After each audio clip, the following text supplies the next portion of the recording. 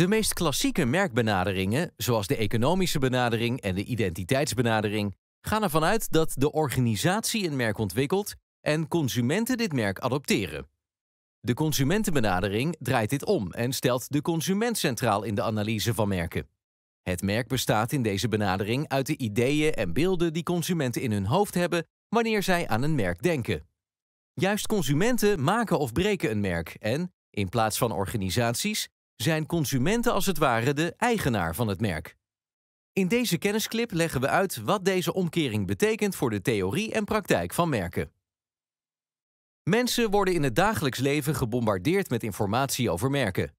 Consumenten hebben veelal onvoldoende capaciteit of onvoldoende motivatie om al deze informatie te onthouden en verwerken.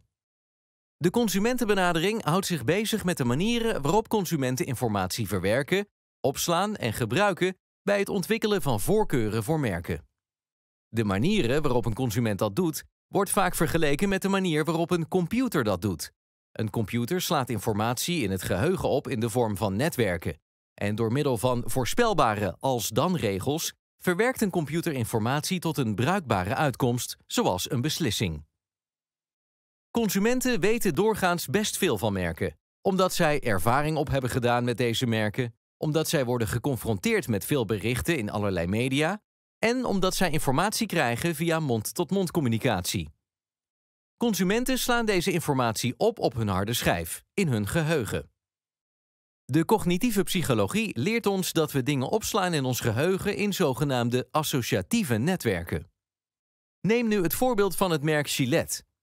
Wanneer iemand denkt aan een merk als Gillette, dan springt snel de slogan The best a man can get in gedachten. Of denk je al snel aan het design van de mesjes en handvaten, aan het comfort van het scheren of aan celebrity endorsers zoals Roger Federer of de voetballer Raheem Sterling. Al deze informatie ligt opgeslagen in een netwerk van betekenissen, zodat, wanneer je aan het ene object denkt, ook andere informatie wordt geactiveerd.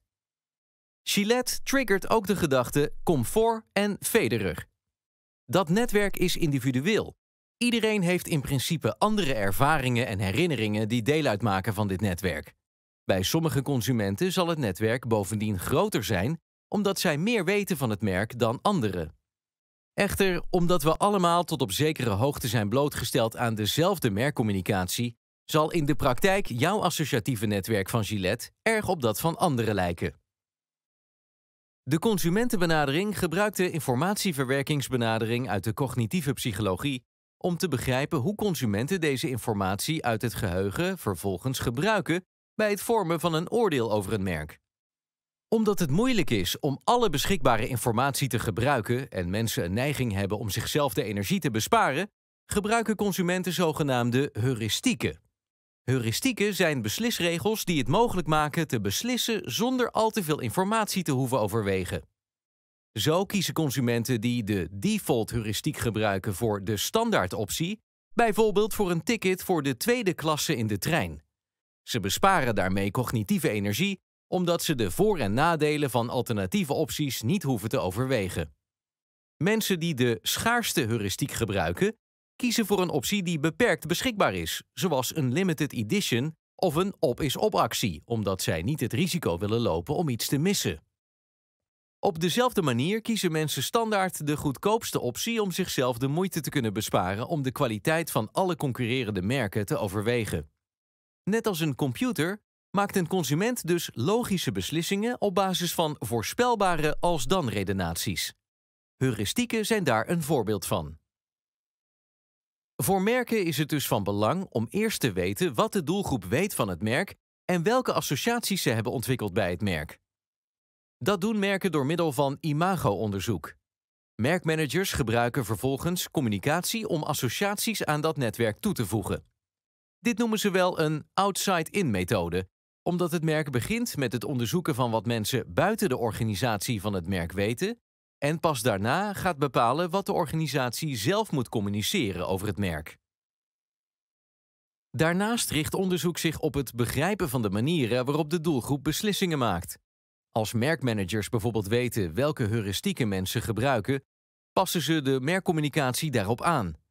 Zo spelen merkmanagers van McDonald's in op de social proof heuristiek, door te adverteren met de hoeveelheid verkochte hamburgers.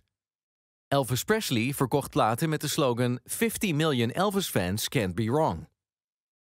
Wanneer een merkmanager weet dat mensen de schaarste heuristiek gebruiken, kan het merk adverteren met een limited edition van het product.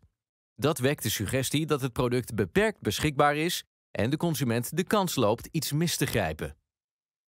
Hoewel consumenten een merk dus maken of breken, kan een merk volgens deze benadering toch van alles doen om een merk te versterken. Een van de assumpties is namelijk dat merkassociaties het directe gevolg zijn van de communicatie van die associaties door de organisatie. Daarmee hanteert deze benadering dus een lineaire communicatieopvatting, in de zin dat organisaties vooral met consumenten communiceren en niet zozeer andersom.